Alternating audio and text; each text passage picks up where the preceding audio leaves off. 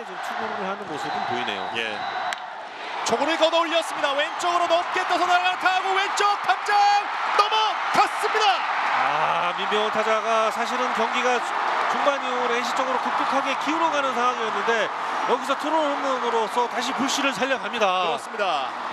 민병헌 올 시즌 일곱 번째 홈런을 때려내고 있습니다. 최전 선수에게 볼넷을 허용하고 나서 이재학 투수가 초구부터 스트라이크를 잡으러 들어온다는 것을 알고 지금 민병헌 타자가 초구부터 적극적인 타격으로 트론 아 지금 따라가는 두 점은 상당히 의미가 있는 홈런을 쳤습니다. 예.